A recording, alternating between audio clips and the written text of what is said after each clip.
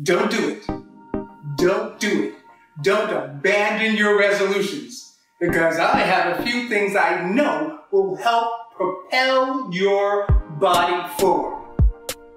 Hello, and welcome to Experience the Groove to Improve Your Life channel. I'm your host, Joey L. Dowdy, aka Dr. Dancer.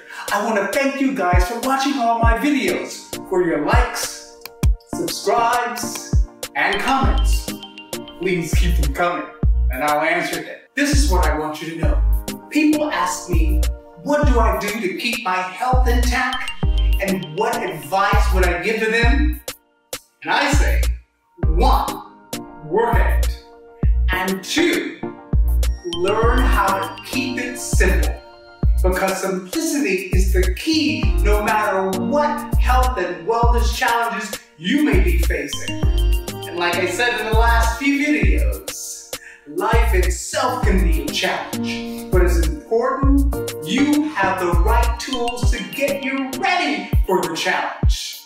So ready, set, groove, let's get at it. Here are three steps how to move your body forward to better health and wellness. Part two. All right, so here is step one. Step one, so follow me. Step one. Start with the end in mind. Know your final goal. I know it's a cliche we hear all the time, start with the end in mind, start with the end in mind. But ask yourself, what is it you want to achieve? Because if you don't know what you want, neither will anyone else, nor will you have a clear picture of the end goal. Now groove on this, I'll tell you why. Because the subconscious mind, its job is to bring to reality or fruition your most dominant thoughts. No, you can't trick it. It knows exactly what you're thinking. I hear people say all the time, wait a minute, what happened?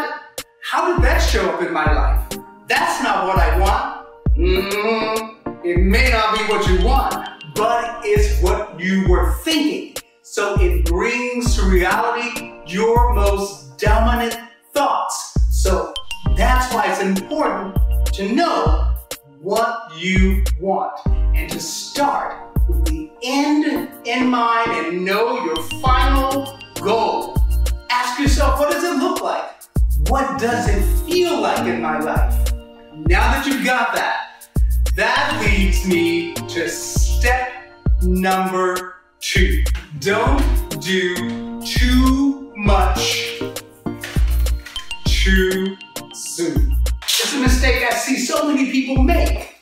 Because what will happen is, if you do too much too soon, you'll end up getting frustrated and burned out, and you'll give up, and most likely throw in the towel. So, okay, what you need to do is to just relax and just take your time. Now I want to talk about three things relating to doing too much too soon that I hear people ask me all the time about.